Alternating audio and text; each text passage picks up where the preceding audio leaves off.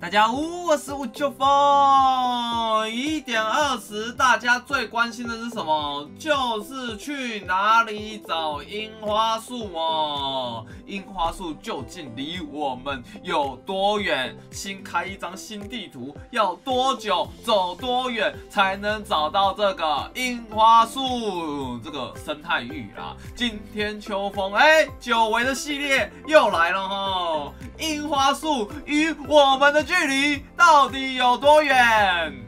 我们的测试方法呢，都是一样的哈。新开一张地图，在这边跑跑跑跑跑跑跑，应该跑最久的应该就是这个这段时间的啦。然后打上我们的指令哦，这一串指令等一下应该会就是直接这样呃复制起来哦。所以一进到里面就可以登录，就直接打了。哎，我们不需要真的到那个生态域啦，只需要看它的距离哈，一零七三，所以要距离一千多格才会到啊。对，这就是一次哈。所以同样这个画面，秋风要看一百次哦，结论就可以告诉大家距离平均值到底是多远。看一下第二次的距离哦，更远嘞！哎，所以樱花树、樱花林没有离我们很近嘞。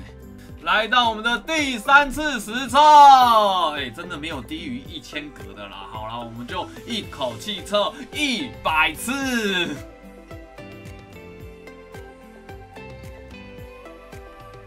哎，目前测了三十多次，最近的一个距离三十二，可以说就开在樱花的旁边了吧？测了三个三分之一了哦，继续测。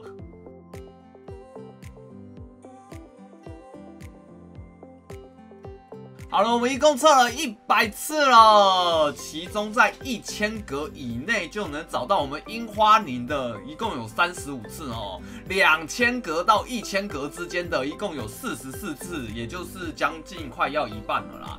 剩下的那三千格到两千格有十八次，三千格以上的有三次。最远距离的，哎，这在我测这一百次下来，最远距离的有那个五千四百四十四格啊。对，你要走五千多格才能找到樱花林，那干脆把地图删掉，再找一换一张好了。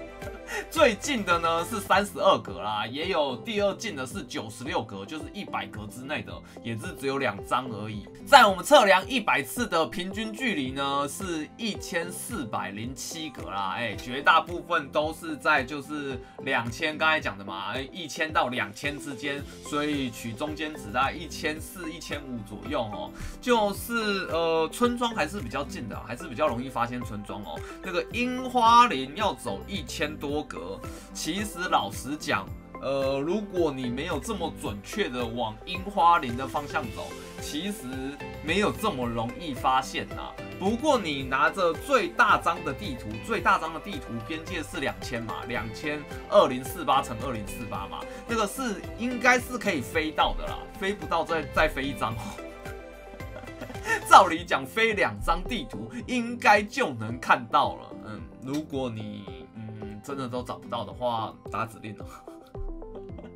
希望大家都能顺利的找到樱花林哦，给大家一个参考。大概走一千五百格、一千四百格就应该要能找到喽。哦，谢谢大家收看，我们下次再会，拜拜。